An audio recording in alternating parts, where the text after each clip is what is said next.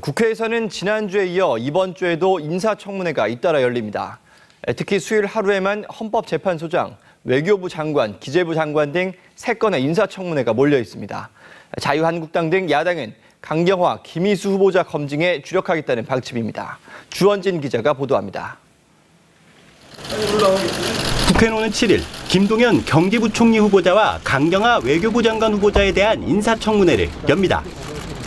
또 7일, 8일 이틀간 김희수 헌법재판소장 후보자 청문회도 예정돼 있습니다. 야당은 강경화 김희수 후보자만큼은 절대 받아들일 수 없다는 입장입니다.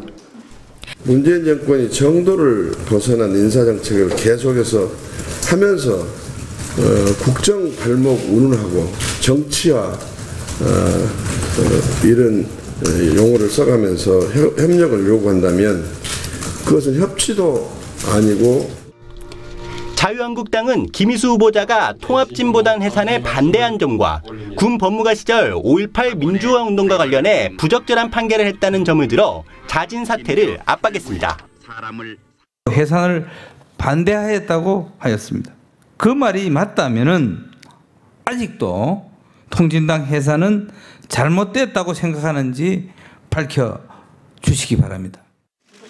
국민의당은 강 후보자에 대해 위장 전입 논란에 거짓말까지 반복되고 있다고 비판했습니다.